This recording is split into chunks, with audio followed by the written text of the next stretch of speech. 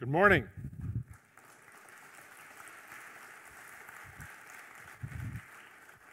It's great to be with you, and uh, thank you, Pastor Dave, for the invitation and uh, to see what God is doing here in uh, Hong Kong.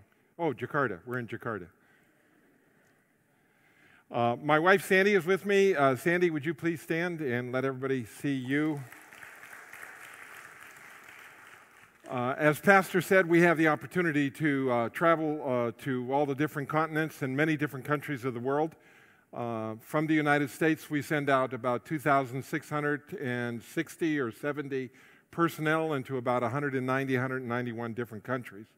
And uh, we have the opportunity to see uh, in a strategic macro way of what God is doing. And it, it's so cool to see what God is doing here amongst you here in Jakarta. And I, I just rejoice, and we rejoice in our spirit. I want to tell you a, uh, a little story. Uh, it's a, I hate when they say this, but I guess I have to say it's a true story. Uh, a story about what is happening in uh, another part of the world. It's in, uh, uh, in the area of the Ukraine. Many of you have seen the headlines and seen what's going on there. And the catalyst for uh, that event has been the Crimean Peninsula. Now, on the Crimean Peninsula, there live uh, Russians and there live Ukrainians, but there's also a, a, small group of people, about three or four or five million people, that, uh, that are called the Tatars. And the Tatars are uh, a people that do not have a Christian heritage, do not know who Jesus Christ did, uh, as far as we knew a couple of years ago, there were no churches or no known believers there, or very few believers. And so several years ago, uh, several of our personnel had a real burden for the Crimean Peninsula, and particularly the Tatar people. And uh, they began praying uh, and, and, interceding for them, just like we interceded today for Tokyo, and, uh, and praying that God would do a, a good work there. And uh, how many know that when we start praying, God moves his hand sometimes behind the scenes and we don't get to see what he's doing, but God is at work?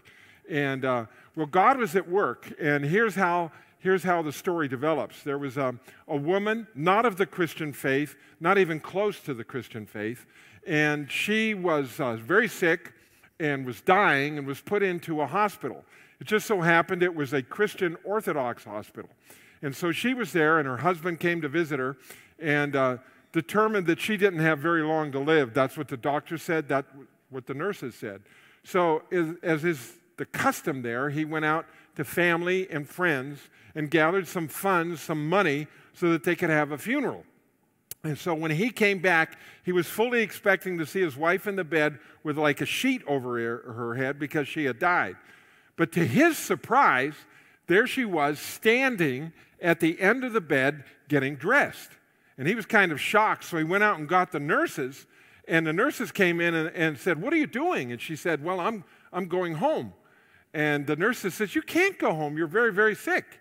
And she said, Well, listen, very early this morning, the doctor came into the room and told me I was well and I could go home, so I'm getting dressed and I'm going to go home.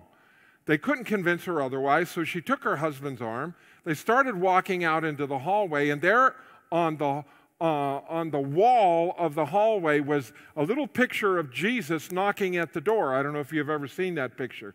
And, uh, and she looks and she sees that and she says, There's my doctor. And the nurses said, No, no, no, no, no, no, no, no.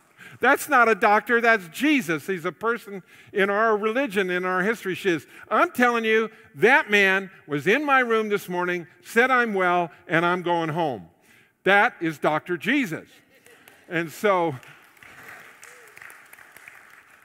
so she gets home. Now, the rest of the story is like this she has a five year old little son that has never walked.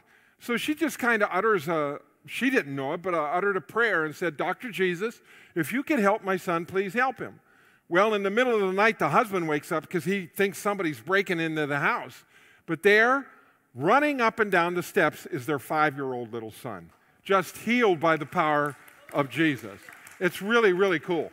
And uh, so here's what happens our personnel that have been praying, these people have had a revelation and an illumination of Jesus but you know, sometimes revelation and illumination is not enough. when you're in the kingdom of God, you also need to be discipled. You need to be with other believers. You need to be in a congregation such as this. You need to be in a small group. You need to understand who Jesus is. So, our personnel connected with them. They told them who Jesus really is. They became really solid believers. They started witnessing in their village and town and in a, in, in a, a people and a society where there was no known church and no known witness. Now there are 12 house churches and a whole bunch of believers, and we give glory to God. Isn't that cool? I have so many stories like that to, to share with you, but now I have a story to tell when I go to other places in the world about IES and Jakarta and how you all love Jesus Christ as your Lord and Savior, and you're a wonderful witness in this city. God bless you. I want to share with you today uh, out of the book of Philippians in the New Testament, chapter 1, verses 12 through 18.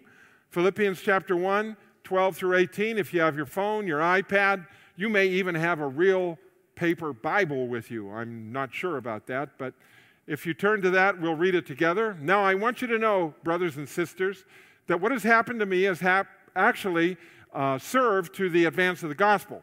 As a result, it has become clear throughout the whole palace guard to everyone that I am in chains for Christ. And because of my chains, most of the brothers and sisters have become, oh, confident in the Lord and dare all the more to proclaim the gospel without fear. It is true that some preach Christ out of envy and rivalry, but others out of goodwill.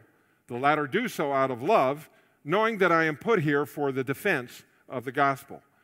The former preach Christ out of selfish ambition and not sincerely, supposing that they can, they can cause trouble for me when, while I am in chains. But what does it matter? The important thing is in that every way, whether from false motives or true, Christ is preached, and because of this, yes, I will rejoice and I will continue to rejoice. Lord, I thank you for your word. It's awesome that we can read it, that we can understand it. I pray, Father, that that word that you've designated for this morning will find residence in our heart today.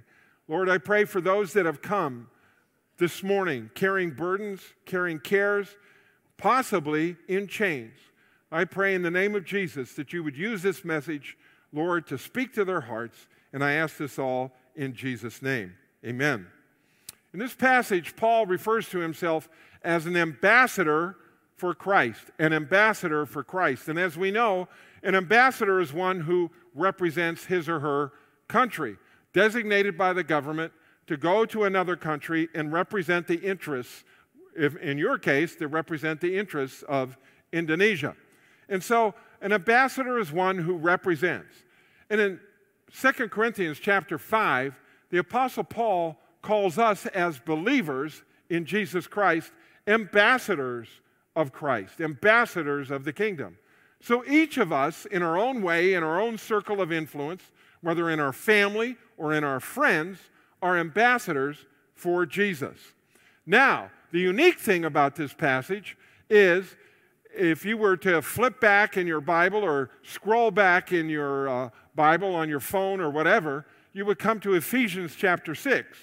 In Ephesians chapter 6, also written by the Apostle Paul, in verse 20, Paul calls himself an ambassador in chains. An ambassador in chains. It's almost like an oxymoron to be an ambassador and yet say, I am in chains. Because when you think about an ambassador, you think about authority, you think about somebody in another place, you think about the freedom to move and to live and to do things. But when you say an ambassador in chains, it puts a whole different image in our mind. Now, in the New Testament, there are three words that are used for chains in the Greek language. The first one is uh, desmios, and that means like a shackle. And a shackle would be something where you, have seen, like on the movies of Pirates of the Caribbean or something, they put them in shackles and then put them at the bottom of the boat. A second word would be desmos, which would mean something in bonds, like somebody would tie you up in, in bonds around your wrists. And the third one is called halusis, and it's like a fetter, or in our modern day terminology, would be like um, it would be like handcuffs. You know, do you have handcuffs here in Indonesia, in Jakarta? How many have ever been in handcuffs? Don't, don't raise your hand. That's what Paul is talking about in this passage of Scripture. He's talking about those handcuffs because he, as he said, he was chained to a guard. He was chained to a guard. Now, let's transfer those physical chains up through the centuries to the 21st century to us today. There may, we may not have physical chains on us, but there may be other chains that would want to bind us, that would want to hold us, that would want to handcuff us so that we couldn't be an effective ambassador. You say, what kind of chains would that be? Well, fear. Fear would be like a chain that would want to hinder us or bind us from doing or being who God wants us to be. And it would be, uh, you know, we could talk about different kinds of fears. I personally don't like spiders. I don't like snakes. I don't like piranhas. I don't like anacondas. You know, you know there's several things that cause me certain fear. Uh, there could be fear of failure. You know, fear of failure is like maybe you're in university or you're in school and you're just closing down the school year or the semester and you're going to have a test or a, a, a, a, big test or whatever, and you can have fear. Boy, what am I going to do about this thing? And it could almost freeze you up. And it's been known that sometimes students are so afraid of a test that they'll just freeze up, and even though they know the material, they can't even take it because of the fear.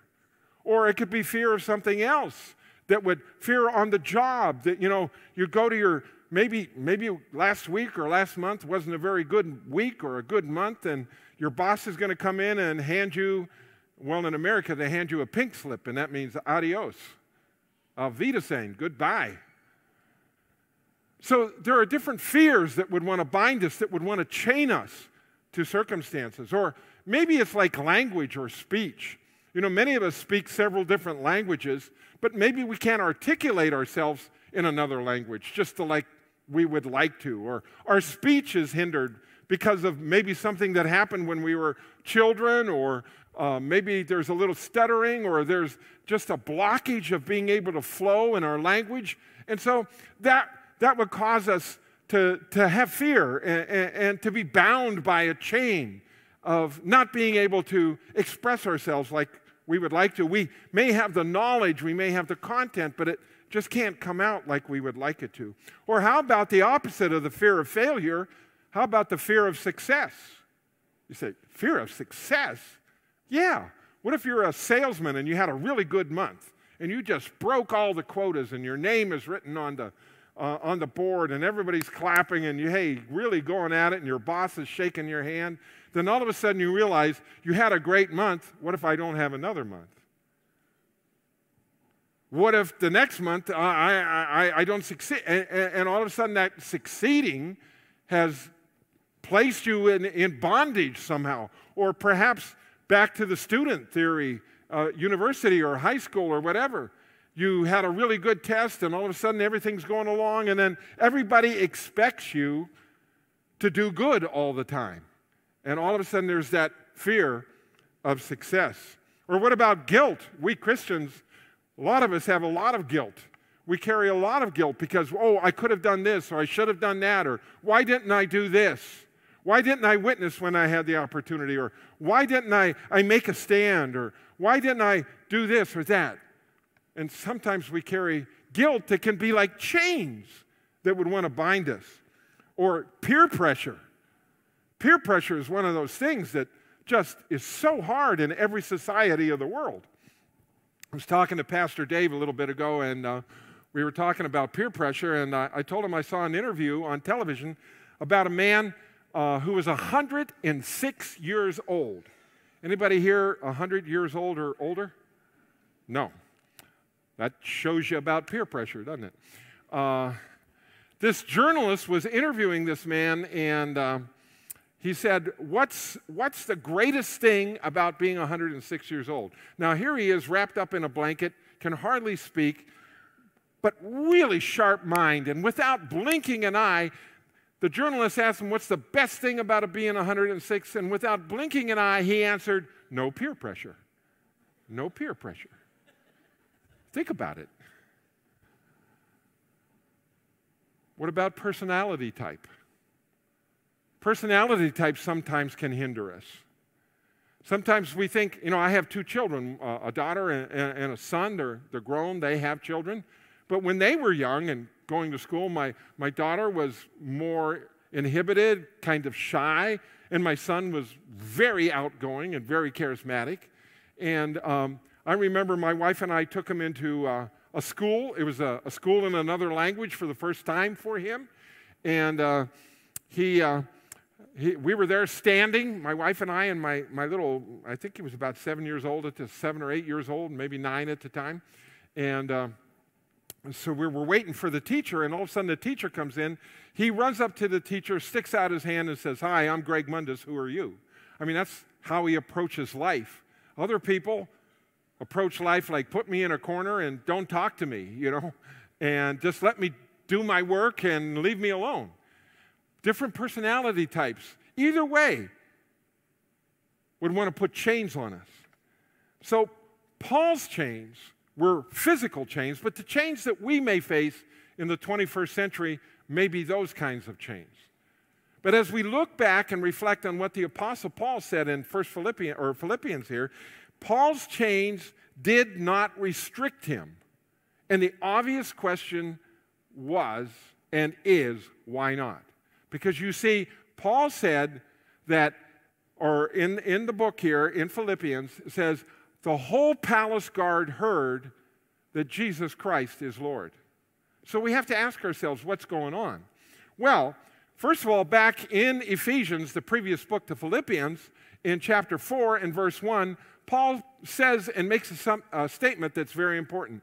He says, Paul, a prisoner of Jesus Christ. Catch that?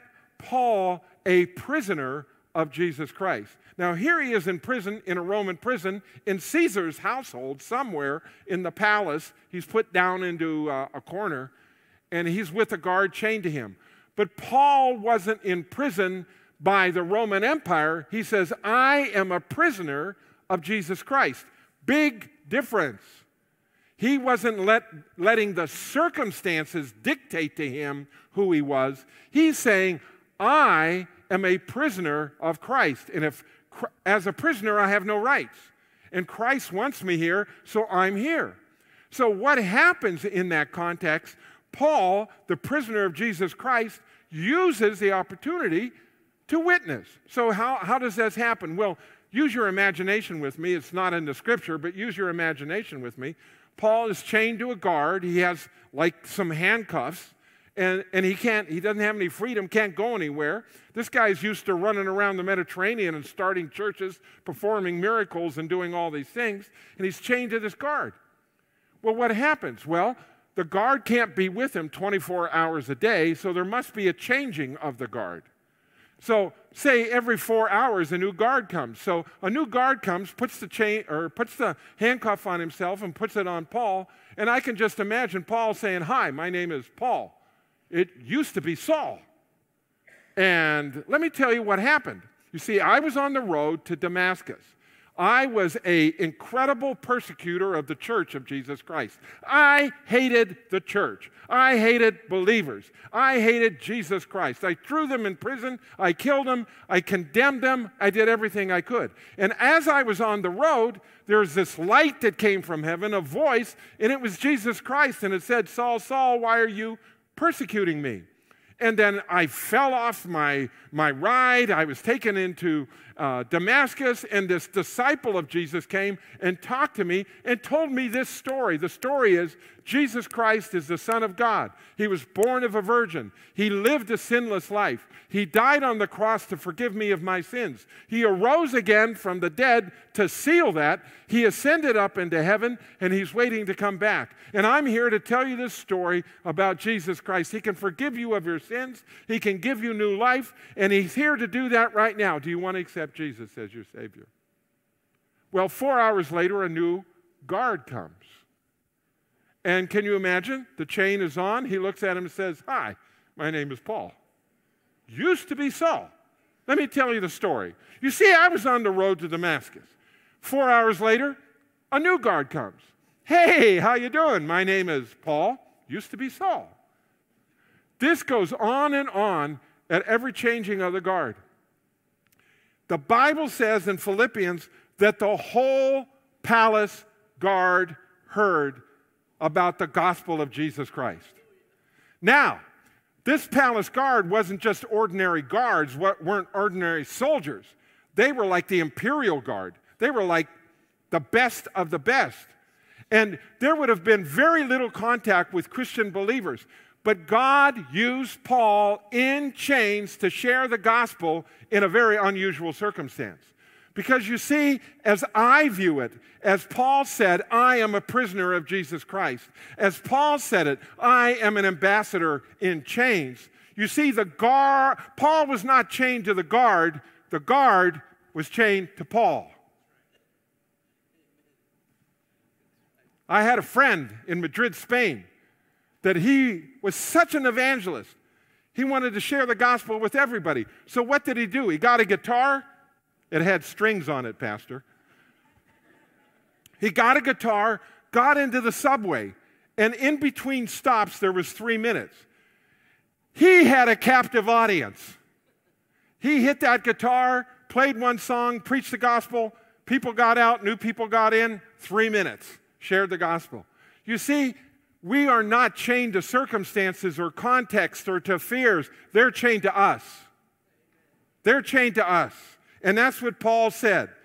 Now, this takes courage to understand that I am a prisoner of Jesus Christ. It takes courage to say, I am an ambassador in chains. Now, what I'm talking about is not the chains we sang about earlier in the service. Those chains are the chains of sin, those have been broken. Those have been destroyed by the blood of Jesus Christ. What I'm talking about are these circumstances, these fears, these things that come upon each of us. Acts chapter 4, verse 13 says this When they saw the courage of Peter and John and realized that they were unschooled and ordinary men, they were astonished and took note that they had been with Jesus. You see, when you're with Jesus, there's courage that comes. When you're with Jesus, courage will encourage others. And what happened, even though uh, Peter and John were before the Sanhedrin there, their courage of standing up before this whole religious body encouraged all of the believers in Jerusalem, and they were able to share the gospel and to live their lives with and for God. Now, you fast forward several hundred years, actually several centuries, uh, to a man by the name of Martin Luther.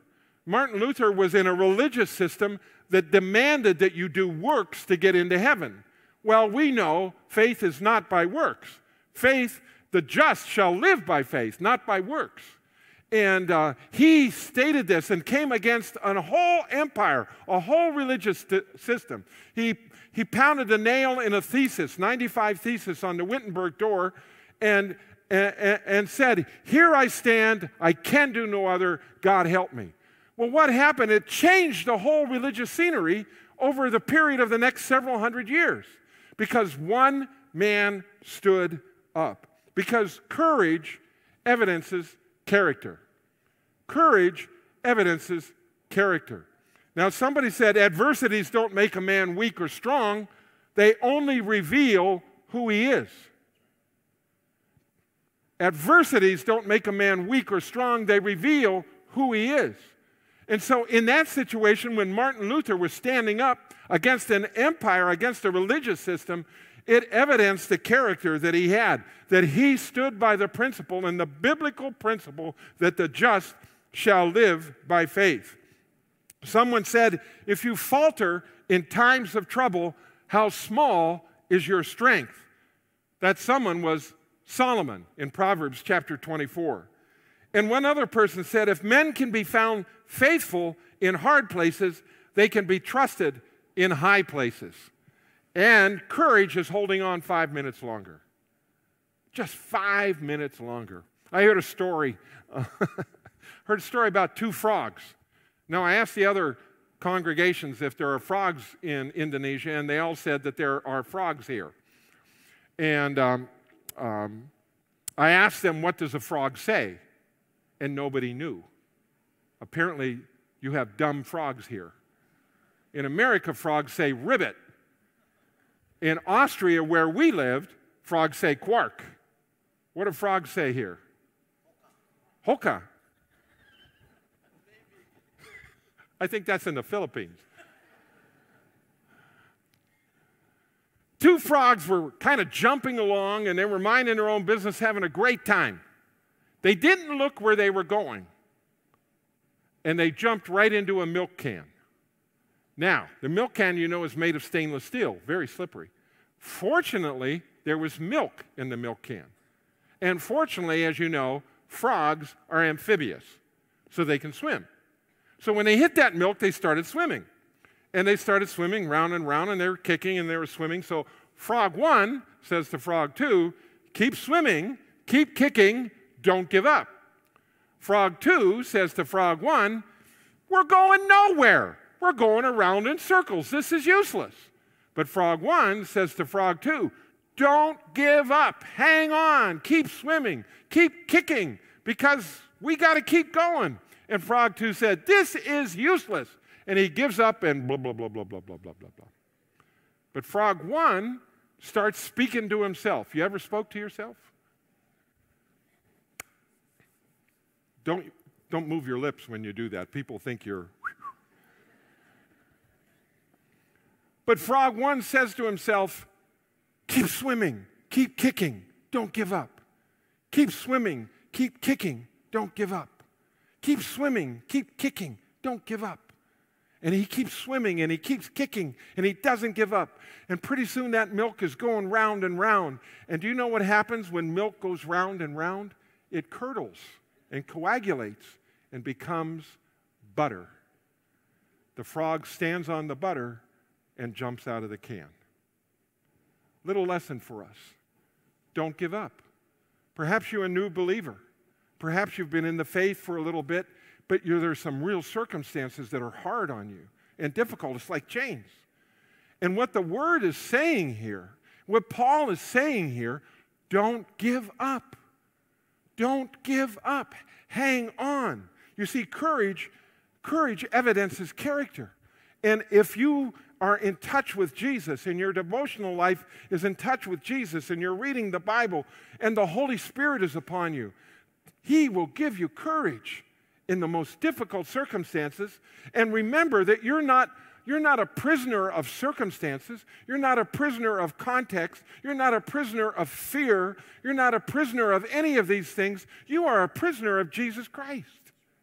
Of Jesus Christ and He will help you and give you courage. I, I heard another story about uh, in England years ago in the 1800s when an atheist was giving a lecture. And it was in one of these uh, English halls, and there was like a, a main floor and two or three balconies. And he was just ranting and railing against God and about, uh, against Jesus. And, and he was very articulate, he was very crafty, he was very good in his logical argument, and he was very audacious and very bold in saying, If there's anyone here that can argue that there is a God, come up on this stage and I will argue with you. Well, everybody was afraid. There was like a fear that gripped the whole audience, except up on the third balcony, there was a little girl that just couldn't take it anymore, and she stood up. And she started singing a very old hymn of the church. And that hymn is Stand up, stand up for Jesus ye soldiers of the cross. Well, this one little girl stands up on the third balcony and starts singing that and repeats it. Well, pretty soon, several other join in. And then on the second level and on the main level. And before you know it, most of the people in that hall were standing up singing that song. And the atheist lecturer walked off the stage because he couldn't say anything more. Why?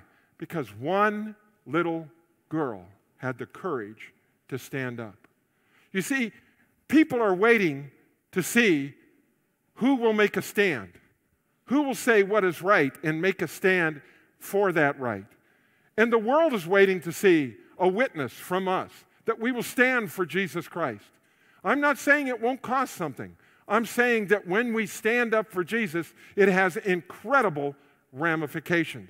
Ramifications that we can't even know and understand of the ripples that go out through society, not only in our local family, but also in our area, in our city, in our country. So, courage evidences character. God, give us the character, give us the courage to stand up for you in the most difficult circumstances. And that comes from the attitude of saying, I am a prisoner, not of circumstances, not of context, but I am a prisoner of Jesus Christ. The last thing I would like to share with you is I believe that courage emulates Jesus Christ.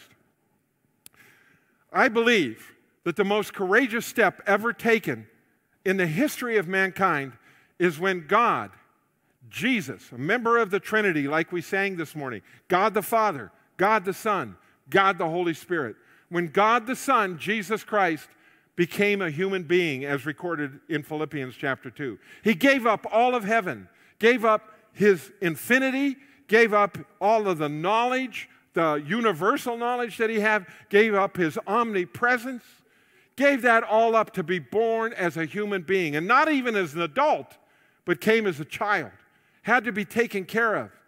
I believe that was the most courageous thing that could ever be done. And that is an example for us.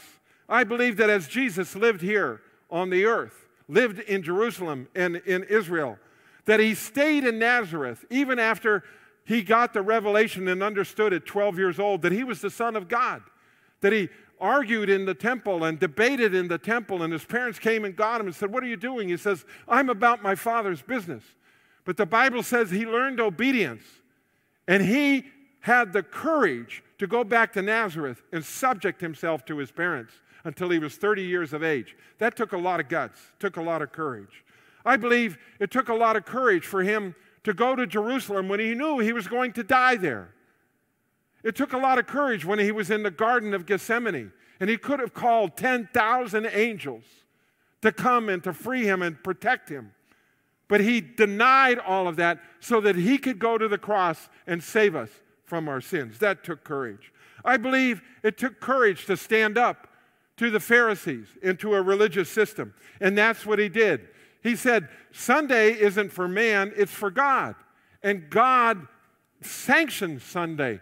And we can, we can live for God on Sunday. We don't have to follow rules and all of these kinds of little things.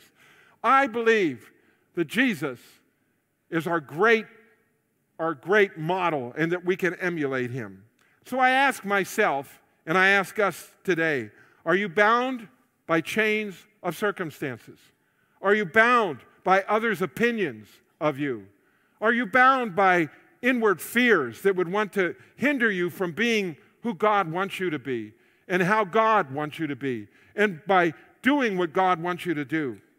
Or are you overcoming these circumstances and overcoming others' opinions and overcoming fears and overcoming the peer pressures because you take courage in God I believe God wants to encourage and give us courage, even on this Sunday morning. John chapter 16, verse 33 says, Jesus speaking says, These things I have spoken to you, so that in me you may have peace. In the world you will have tribulation, but be of good cheer. I have overcome the world. Because Jesus overcame, we can overcome. Because Jesus had courage, we, as his disciples, as his sons, as his daughters, can also have courage. Because Jesus saw a glimpse of heaven and knew that he was doing the will of the Father, we too can have a glimpse of heaven and know that we are doing the will of the Father. Don't let circumstances put chains on you. Don't let fears put chains on you. Don't be a prisoner of these things be a prisoner of Jesus Christ.